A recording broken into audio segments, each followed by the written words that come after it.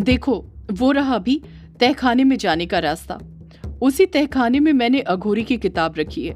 बस मुझे वो मिल जाए, फिर मैं कायर और कछुए का वशीकरण तोड़ दूँगी और फिर काले साई की लड़ने की लड़ाई में वो दोनों हमारे साथ होंगे। अभिमन्यु मुँह बनाते हुए कहता है, वो सब तो ठीक है डायना, पर तुम्हें ऐसा नहीं करना चाहिए। डायना भी मुँह बनाते हुए कहती है, क्या नहीं करना चाहिए था? अभिमन्यु कहता है, वही जो तुमने अभी किया, डायना। डायना अभिमन्यु को घूरते हुए कहती है, क्या किया मैंने अभी? मैंने तो कुछ भी नहीं किया। बस तहखाने में जाने का रास्ता दिखाया। अभिमन्यु डायना की बात पर ज़ोर देते हुए कहता है, और तहखाने में जाने का रास्ता तुमने किस तरह दिखाया? अभिमन्यु कुछ गुस्से के साथ कहता है, अपनी शक्तियों से तुम्हें इस तरह अपनी शक्तियों का उपयोग नहीं करना चाहिए, डायना। तुम्हें पता है ना, उस काले साय से लड़ने के लिए हमें अभी और शक्तियों की ज़रूरत पड़ेगी। अगर तुम ऐसे ही छोटे छोटे काम के लिए अपनी शक्तियों का उपयोग करोगी तो फिर जब लड़ाई का वक्त आएगा, तब तुम क्या करोगी? डायना कहती है, अभी मैंने अपनी शक्तियों का उपयोग सिर्फ़ इसलिए किया ताकि हमारा काम आसान हो जाए और हम और वक्त ज़ाया ना करें, इस मलबे को अपने हाथ से हटाने में। एक तो मैंने तुम सबकी मेहनत बचाई है। ऊपर से तुम मुझे ही सुना रहे हो। अभिमन्यु कहता है हाँ सुना रहा हूँ, डायना, क्योंकि ये सब करने की कोई ज़रूरत नहीं थी। डायना फिर मुँह बनाते हुए कहती है, तुम ना अभी पता नहीं किस मिट्टी के बने हो। तुम्हें ना मेरा कोई काम पसंद ही नहीं आता है। कालगढ़ ढूंढते वक्त भी तुम मेरे हर काम पर गुस्सा करते थे और अब भी कर रहे हो। जिस दिन मैं तुम्हें हमेशा के लिए छोड़कर चली जाऊँगी ना, तब तुम्हें मेरी अहमियत पता चलेगी। अभिमन्यु कहता है, तुम मुझे छोड़कर चले जाओगी तो मेरी ज़िंदगी आसान हो जाएगी, डायना। डायना मुँह बनाते हुए कहती है वो तो वक्त बताएगा कि ज़िंदगी जीना आसान होती है या फिर ज़िंदगी जीना दुश्वार होती है अभी। अभिमन्यु पलटकर कुछ कहता उससे पहले युग उन दोनों के बीच में बोल पड़ता है। अगर तुम दोनों का बच्चों की तरह झगड़ना हो गया हो तो हम तहखाने के अंदर चले। डायना या अभिमन्यु में से कोई कुछ नहीं कहता है। दोनों चुपचाप तहखाने की तरफ़ अपने कदम बढ़ाने लग जाते हैं। जब वो चारों तहखाने के अंदर पहुँचते हैं तो देखते हैं कि तहखाना कई सारे काले जादू तंत्र मंत्र के सामान से भरा हुआ था। तहखाने के अंदर से एक अजीब सी महक आ रही थी। एक ऐसी महक जिसने सबको अपना हाथ अपनी नाक पर रखने के लिए मजबूर कर दिया था। वो चारों तहखाने के जितने अंदर जाते जा रहे थे, वो गंध भी बढ़ती जा रही थी। उस गंध में उनका सांस लेना तक मुश्किल हो रहा था। युग अपनी नाक पर हाथ रखते हुए कहता है, ये कैसी बदबू है? अभिमन्यु भी अपनी नाक पर हाथ रखते हुए कहता है, पता नहीं, युग बड़ी अजीब सी बदबू है जैसे कोई चीज़ सड़ रही हो। डायना हैरानी के साथ कहती है जब आखिरी बार मैं इस तहखाने में आई थी, तब तो इसमें से ऐसी बदबू नहीं आ रही थी। पता नहीं अब क्या हो गया। यामिनी अपने आसपास का सामान देखते हुए कहती है, इस तहखाने में तो वाकई काला जादू तंत्र मंत्र करने का कई सारा सामान रखा हुआ है। डायना कहती है, कैसे न रखा होगा यामिनी? ये तहखाना उस अघोरी का जो है, वो यहीं पर तो अपनी तंत्र मंत्र की क्रियाएँ करता था। वो तंत्र क्रियाओं का बादशाह था। अभिमन्यु डायना से पूछता है, वो किताब तुमने कहाँ पर रखी है, डायना? डायना हिचकिचाते हुए कहती है, वो किताब हमें ढूंढनी होगी अभी। अभिमन्यु डायना को घूरते हुए कहता है, ढूंढनी होगी से तुम्हारा क्या मतलब है डायना? वो किताब तुमने इस तहखाने में रखी थी ना? डायना हिचकिचाते हुए धीरे धीरे कहती है हाँ अभी रखी तो मैंने ही थी, पर इस बात को इतना वक्त हो गया है ना कि मैं भूल गई कि मैंने वो किताब किस जगह पर रखी है। मुझे ये तो याद है कि वो किताब मैंने तहखाने में ही रखी थी, पर कहाँ पर ये मुझे याद नहीं है। अभिमन्यु डायना को गुस्से के साथ घूरते हुए कहता है, तुम न डायना। इतना कहकर अभिमन्यु खुद ही चुप हो जाता है। अगले ही पल अभिमन्यु डायना युग और यामिनी तहखाने के अंदर उस किताब को ढूंढना शुरू कर देते हैं। युग तहखाने के अंदर किताब ढूंढ ही रहा था कि तभी उसकी नज़र तहखाने के अंदर ही रखी एक संदूक पर पड़ती है। जब युग उस संदूक के पास पहुँचता है तो वो बदबू जो उसे आ रही थी, वो और तेज आने लग जाती है। जैसे बदबू उसी संदूक के अंदर से आ रही हो। युग उस संदूक को देखते हुए कहता है, ये कैसा संदूक है? यामिनी युग के पास ही थी, जिस कारण वो भी तुरंत उस संदूक के पास आ जाती है। डायना और अभिमन्यु तहखाने के अंदर ही किताब ढूँढने में लगे रहते हैं। युग तुरंत उस संदूक को खोल देता है। जैसे ही वो संदूक को खोलता है, बदबू और तेज़ी के साथ फैलने लग जाती है और वो पूरी तरह श्योर हो जाता है कि वो बदबू उसी संदूक में से फैल रही थी। जब युग और यामिनी उस संदूक के अंदर झांकते हैं तो उनकी आँखें खुली की खुली रह जाती हैं। संदूक के अंदर देखकर दोनों दंग रह गए थे।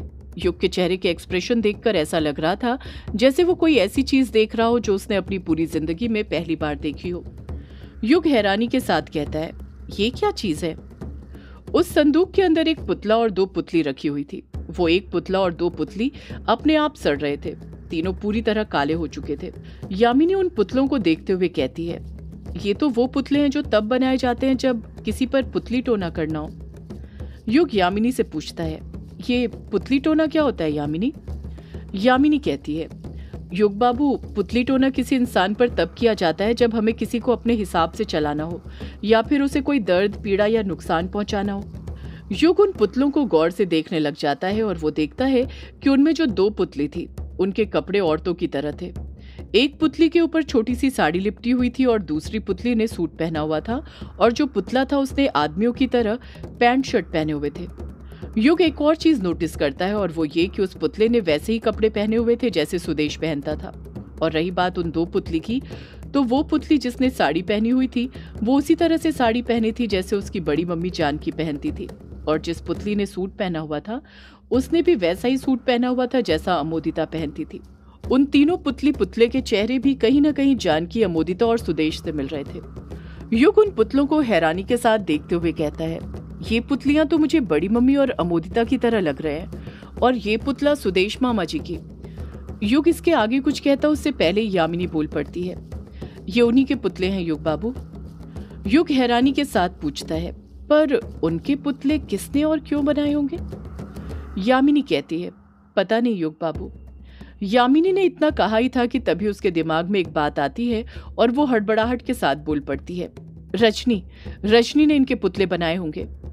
युग यामिनी से कहता है, पर रजनी मामी ऐसा क्यों करेगी यामिनी? वो भला इनके पुतले क्यों बनाएगी? अपने ही परिवार वालों को नुकसान क्यों पहुंचाएगी? यामिनी युग को समझाते हुए कहती है, युग बाबू, आप बहुत सीधे हैं। ज़रूरी थोड़ी ये पुतले रजनी ने इनको कोई कष्ट या नुकसान पहुँचाने के लिए बनाए हो। किसी और मकसद से भी तो वो ये पुतले बना सकती है। आप ये बात कैसे भूल सकते हो कि उन्होंने तो पुतली टोना करके विराट भैया को ग्रेवयार्ड कोठी भेजा था? हवेली के कागजातों पर अनुराग अंकल से साइन कराने के लिए। और आपको तो पता है ना, वो एक सौदाइन थी। हो ना हो, ये करामात भी उन्हीं की होगी। युग चुप ही रहता है पलट कर कुछ नहीं कहता है। पर वो इतना तो समझ गया था कि यामिनी के बात में तर्क तो था। और उसे ये भी लगने लग गया था कि यामिनी कहीं ना कहीं सही बोल रही थी। युग इस बारे में सोच ही रहा था कि तभी यामिनी अपने हाथ से संदूक के अंदर इशारा करते हुए कहती है, वो देखिए, विराट भैया वैसे ही कपड़े पहना करते थे ना? युग हड़बड़ाहट के साथ हाँ में अपना सिर हिलाते हुए कहता है हाँ यामिनी, विराट भैया ऐसे ही कपड़े पहना करते थे। यामिनी फिर बोल पड़ती है, उन्होंने विराट भैया का भी पुतला बनाया था, युग बाबू। युग यामिनी से पूछता है, फिर उनका पुतला कहाँ पर है यामिनी? इस संदूक में उनके बस ऐसे छोटे कपड़े ही क्यों हैं? यामिनी युग के सवाल का जवाब देते हुए कहती है, उनका पुतला नष्ट हो गया युग बाबू। युग हैरानी के साथ यामिनी से पूछता है, नष्ट हो गया पर कैसे यामिनी? यामिनी युग से कहती है, क्योंकि उन्हें मुक्ति मिल गई, इसलिए उनका पुतला नष्ट हो गया और अब बस उनके कपड़े ही बचे हुए हैं। युग कुछ सोचते हुए यामिनी से पूछता है, मुक्ति तो बड़ी मम्मी अमोदिता और सुदेश मामा को भी मिल चुकी है। मैंने अपने परिवार के सभी लोगों के शरीर का अंतिम संस्कार कर दिया था। तो फिर बड़ी मम्मी अमोदिता और सुदेश मामा के पुतले अभी तक नष्ट क्यों नहीं हुए? यामिनी कहती है, उनके शरीर को तो मुक्ति मिल गई है युग बाबू, पर उनके पुतलों को नहीं मिली है, क्योंकि काले जादू का असर धीरे धीरे खत्म होता है।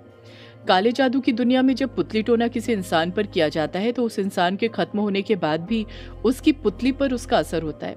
वो तो जब इंसान के शरीर का दाह संस्कार कर दिया जाता है, उसके बाद उसका पुतला धीरे धीरे अपने आप नष्ट होना शुरू हो जाता है। और जैसे ही काला जादू खत्म होता है, वो पुतला भी पूरी तरह नष्ट हो जाता है।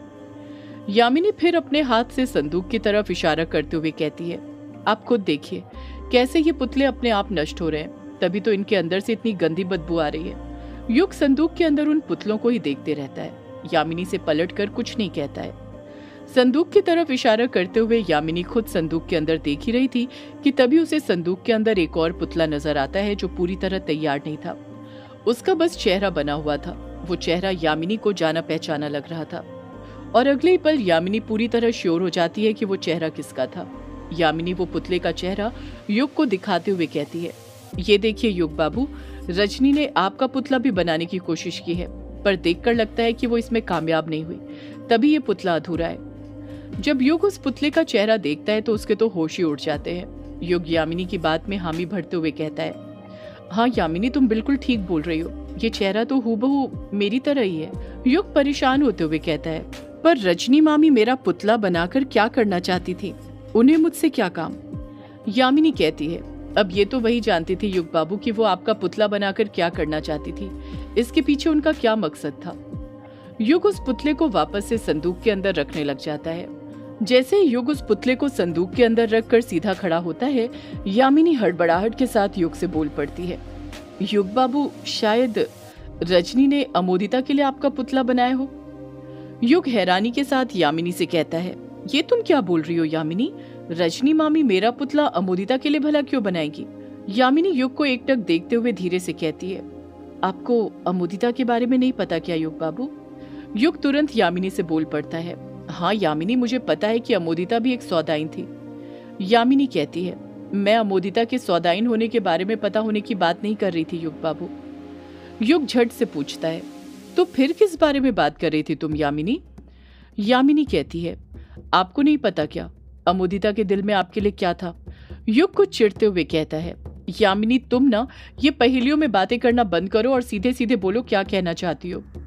यामिनी कहती है युग बाबू, मैं आपसे ये कहना चाहती हूँ कि अमोदिता आपसे प्यार करती थी।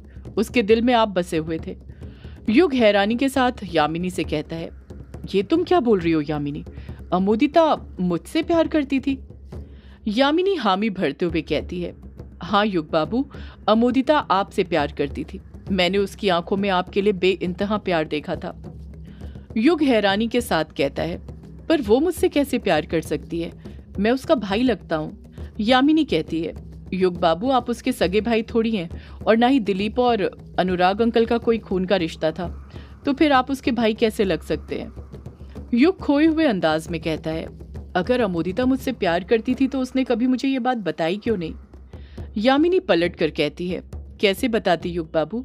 आप उस वक्त मेरे प्यार में जो डूबे हुए थे और ये बात अमोदिता भी जानती थी। शायद इसलिए उसने कभी आपको इस बारे में नहीं बताया। कई बार ज़िंदगी में हम अपने प्यार का इजहार ही नहीं कर पाते हैं और अपने प्यार को अपने साथ ही लेकर मर जाते हैं। अमोदिता भी उन्हीं में से थी। यामिनी के ये बात कहने पर युग अमोदिता के बारे में सोचने लग जाता है। अब उसके समझ में आने लग जाता है कि क्यों अमोदिता हमेशा उससे युग जी कहकर बात करती थी।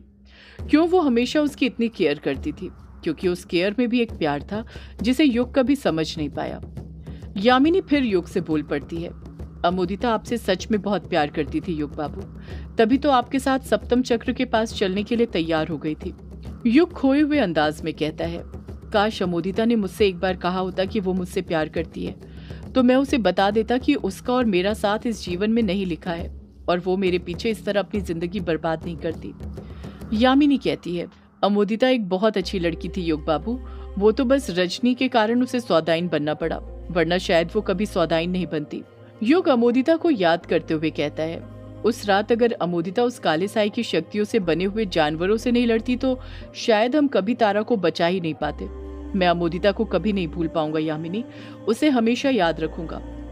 यामिनी कहती है, मैं भी युग बाबू, युग और यामिनी अमोदिता के बारे में बात कर ही रहे थे कि तभी डायना की आवाज़ सुनाई देती है। मिल गई।